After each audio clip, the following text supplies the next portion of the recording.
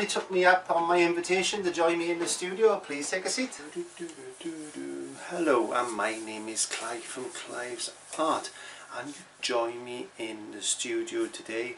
And behind me, you will see the subject we're about to talk about. Now, I've been asked by several different subscribers, and thank you very much for subscribing, um, how to paint clouds. Now, when is a cloud not a cloud?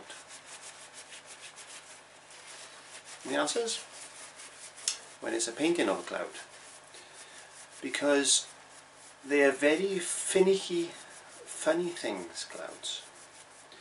There's to try not to make it too complicated.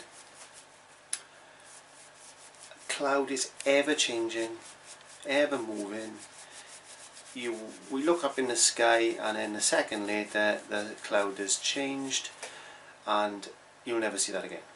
And it's, it's, it's as simple as that. It is water vapor in the atmosphere and it comes in all different colors um, when the sun is setting when the sun is rising if it's a storm etc etc snow clouds are different uh, summer clouds are different from autumn clouds and so it's a minefield. Now what I suggest you do is don't paint clouds from your memory when you're beginning. It's the most important thing that you must not do. It's better to copy from a photograph. Now I mean go outside, take some photographs of some different clouds, look on the internet. Um, now you can see behind me that this is a, a sunset and all the different colours there. You've got obviously the blue top of the sky by there and you've got the purpley colours down here and where there's, there's yellows in there there's oranges in there and it's, it, it, it, it can be a minefield. So try to paint basic cloud formations first. Now I'm not going to go into all the different cloud formations and what this cloud is different to that cloud is and how high it is to the different you don't need to know that. You need to know to paint the basic cloud. But when we come to paint the basic cloud we tend to paint it in a certain way and that's as we as we remember it mainly from childhood. So they're big fluffy things.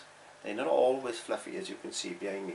These couple of years are a bit more fluffier than these here and, and the distance as well.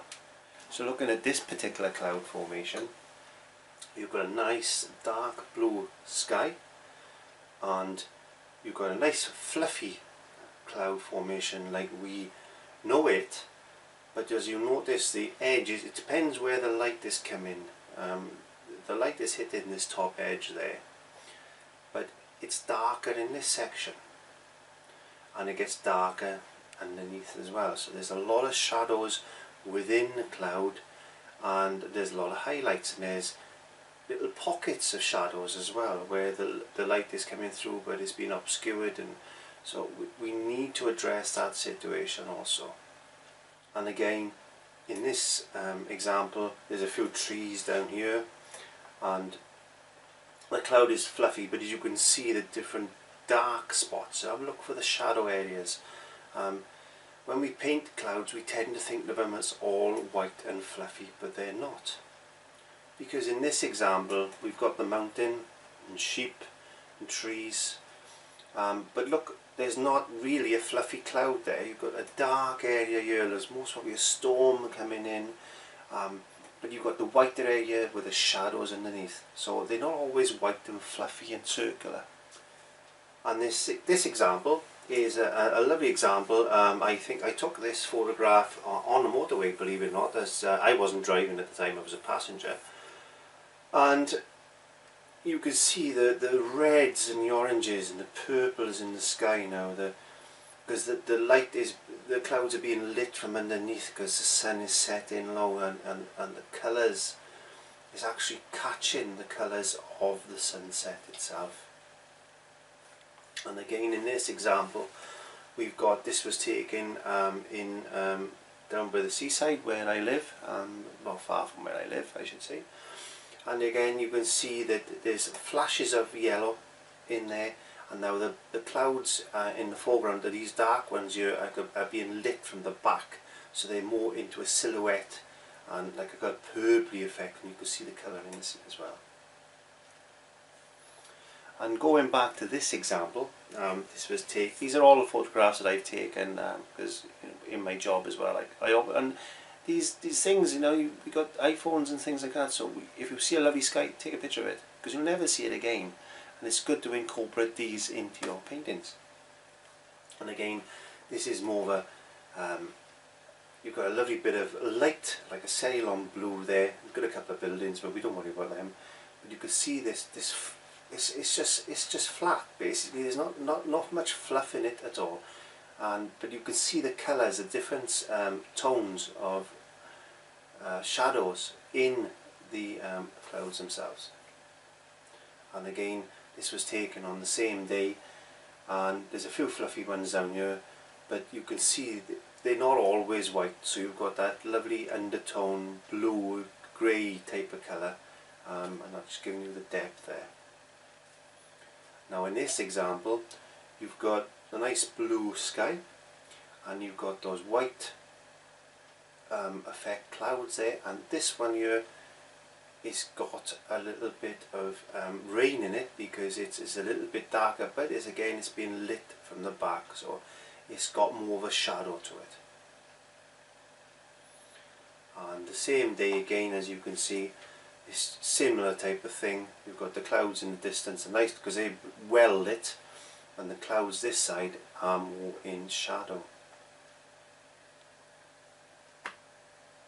Um, this particular example is taken from the aeroplane on the way over to um, Cyprus because that's where I went on holiday this year and I believe this was um, around Italy type way somewhere like that uh, maybe the Alps I don't know um, now this is looking down. This is down from the airplane. This is this 35,000 feet down onto the clouds and we never see clouds like this. So you've got the opportunity of taking some photographs of clouds when you're up in the air in a, in a plane then this is a brilliant way of looking how they're actually formed because this is the closest you ever get to a cloud really except from when you're in fog and you can't see the cloud because it's foggy. And, this this shot now is taken um, in the spring I think it was. But you can see you've got a couple of um, jet trails and you've got those little stringy clouds I call them stringy clouds and you've got the sun up in this corner here. Um, but again they're not all fluffy.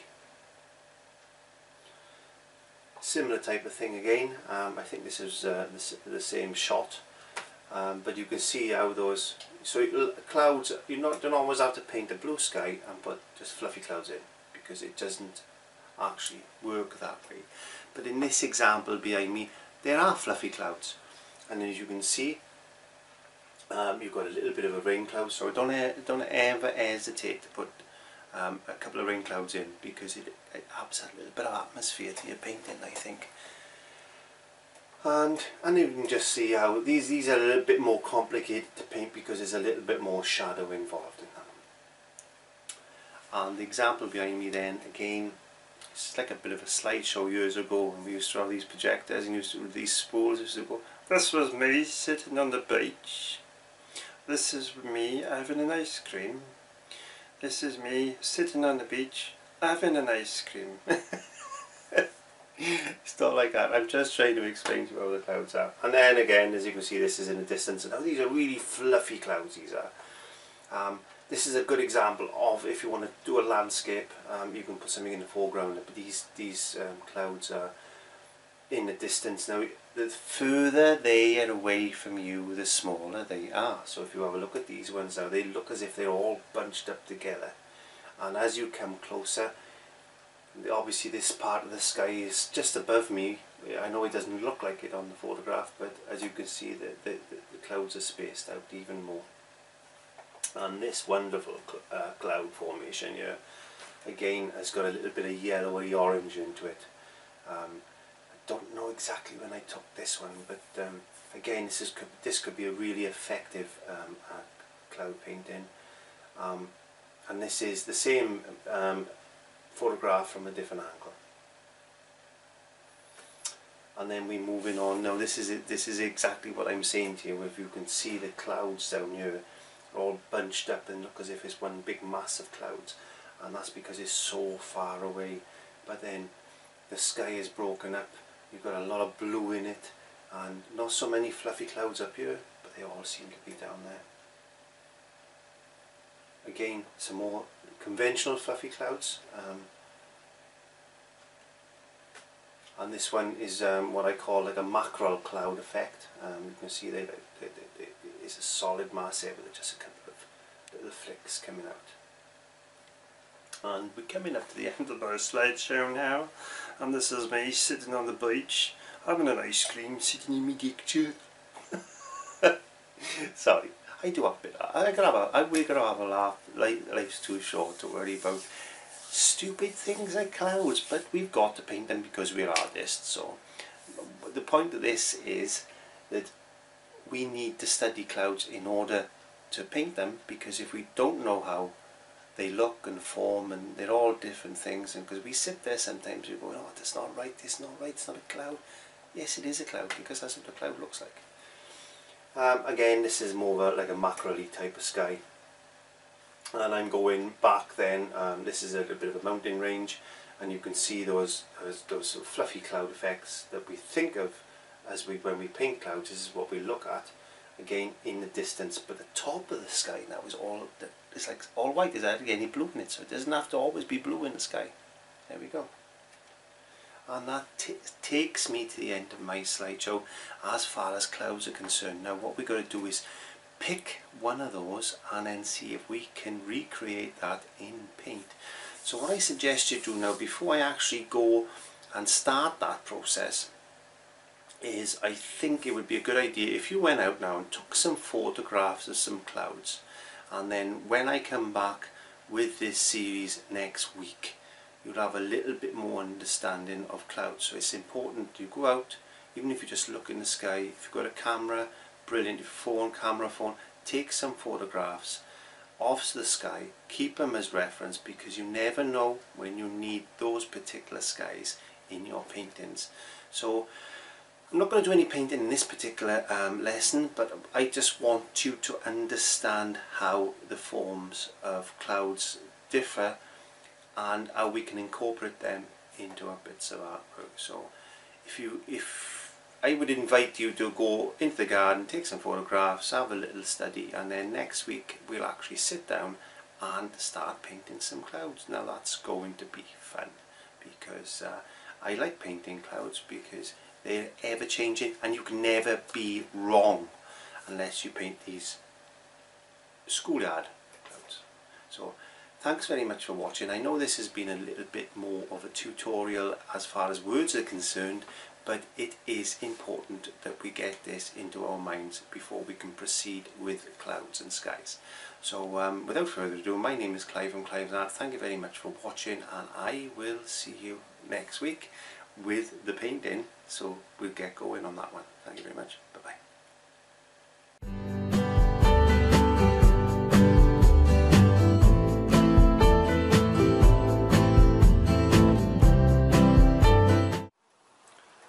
Okay, so I hope you enjoyed that as much as I did making it and painting it, I must add. And, um, well, thank you very much for watching. Check me out on Facebook. You can join me on Twitter. Don't forget to check those playlists out. And I invite you to press the subscribe button if you haven't already done so. So thank you very much for watching. I'm Clive from Clive's Art and I will see you on the next episode. Bye-bye.